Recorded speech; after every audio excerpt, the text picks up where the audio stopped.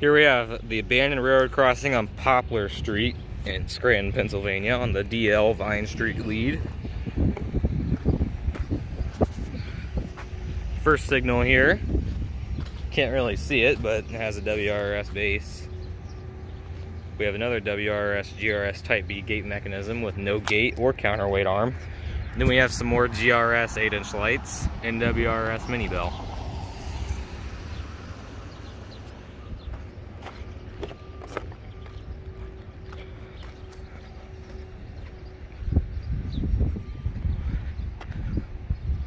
There's a look over here.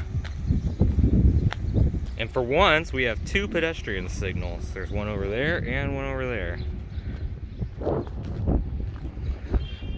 But at the same time, this crossing retains none of its gates or counterweight arms. So, that's also something. That's looking north towards the DL Carbondale Main. That's looking south towards the end of the line. Here we have the first pedestrian signal.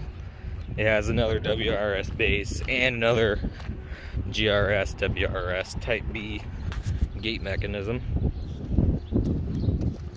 As you can see.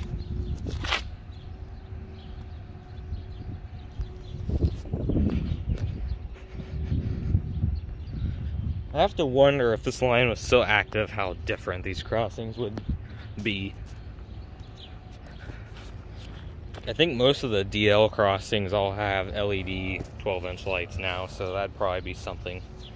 Got another, another WRS base, another WRS GRS Type B gate mechanism, and more GRS inch lights. We got three pairs this time, and there's a mixture of normal lenses and the sticking out lenses.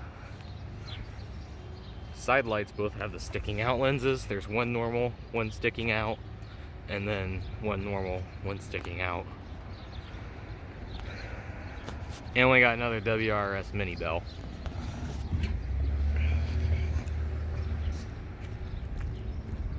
And then the last signal is the other pedestrian signal. It has another WRS base. And another WRS GRS Type B gate mechanism without its gate or counterweight arms. And then over here is the relay case.